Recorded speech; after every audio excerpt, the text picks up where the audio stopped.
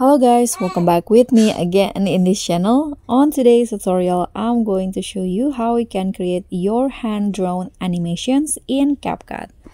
So in here, what you need to do is use the CapCut drawings feature first.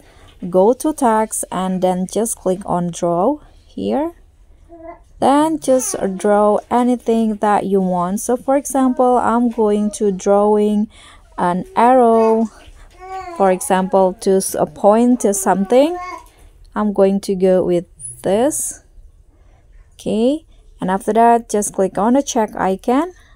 So this is the length of the row uh, the arrow uh, the that I draw. You can also adjust the length now go to animation and here you can add animation that you like but I'm going to use the order in to add okay like that to add like it uh, it is drawn in the video like this.